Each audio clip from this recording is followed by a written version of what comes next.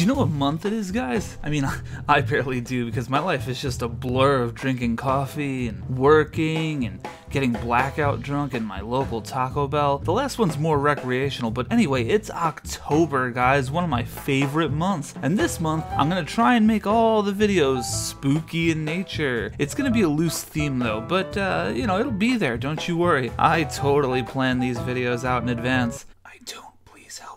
Today we're going to talk about some Photoshop wizardry to give your photos a somewhat airbrushed 80s movie poster look, like some of these classics. And if you're too young for those movies, uh, Stranger Things did it too. And here are a few edits that I made. Here's an important disclaimer, the original posters were hand drawn. We're going to be using photos here, so it's not going to be exact, but it'll be pretty cool. So to start off, you want a high contrast, sharp photo. Let's just grab one. We'll just go on Google and type in Owen Wilson. Yeah, see that one's not good enough. We need more more detail, a little bit more shadow, a little bit more con- There it is. Wow. That's the one. Awesome. High contrast with a ton of shadows is what you need. So if you're shooting this photo yourself, try to go for like a Rembrandt lighting or something like that. Not to uh, go down a rabbit hole here, but Rembrandt lighting is basically done with the whole single lights the side, so you get a ton of shadows and that little nose triangle happening like this one. Once you're set with your photo, let's hop into Photoshop. I know it's a little scary territory because we're always in Lightroom on this channel, but Photoshop's our friend too. Let's drop in our photo and duplicate the layer so that our edits aren't destructive. Or if you want to live on the edge, I mean, don't. Wow. We're going to be doing three main things here, keeping it simple. We're going to sharpen the photo, we're going to oil paint it, and then we're going to posterize it. Then we'll add a little bit of grain. So I guess four main things. We're gonna start with an unsharp mask. The goal here is to sharpen the image up. You can be a little aggressive here. The more detail, the better. And once all the filters are on, you're not gonna be able to tell how aggressive you were with this filter anyway. Now is also a good time to jump in and make any brightness or contrast changes you might need. A little bit more contrast will help this effect work better. Jump into filters, stylize, oil paint.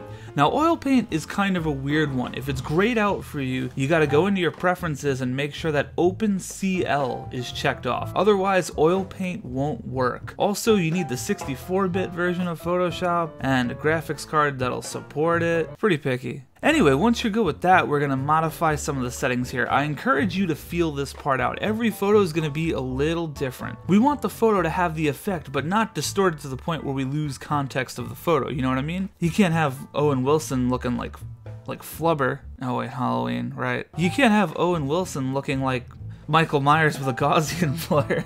I find that this top slider here is the most important one to yeet around back and forth. Find your happy place and move on. Just keep in mind that you're controlling this effect via the number of pixels it's modifying, so the size of your source photo actually does matter. A big brush on a small image is going to have a much more dramatic effect than the same size brush on a larger image. That's relativity, folks. Wow. Here's an important note too, this knob down here controls the angle of the light, so you want to rotate it to try and match the angle of the light in the original photo. Next up we're going to duplicate this shit, you can drag it down here or hit command or control J. Wow. I know Owen, shortcuts are cool. Go into your channels and control or command click the RGB channel. Now you'll see a selection on your image, jump back into layers and put a mask on that selection. Now set the blending mode to vivid light. This is just going to deepen the contrast and make some of those highlights pop. No, no wow there? Alright, moving on. We'll just lower the opacity a little bit so that it's not too abrasive. Awesome. Now we're going to make this a smart object by right clicking and uh, doing the thing here. Perfect. Next thing we're to do is posterize it, so go to filter, then filter gallery. Under artistic, you'll see poster edges. Now in here, we're to play with these sliders a little bit. Under edge thickness, I'll keep the number kind of low, between 2 and 3. Edge intensity, I'm to keep that at 0 because it just, ooh, it just looks terrible. And under posterization, we're to keep that all the way at maximum, which is 6. If you bring it down lower, for some strange reason, he kind of starts to look like Matthew McConaughey, so we, we don't really want that. Once you're good, click OK.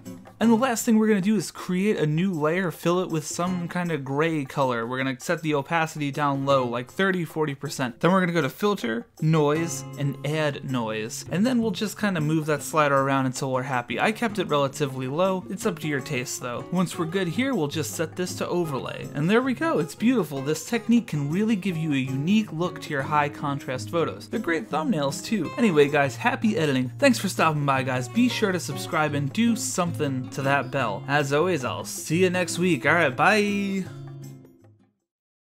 Oh my god, dude, Clint Eastwood looks so fucking old. It's so sad.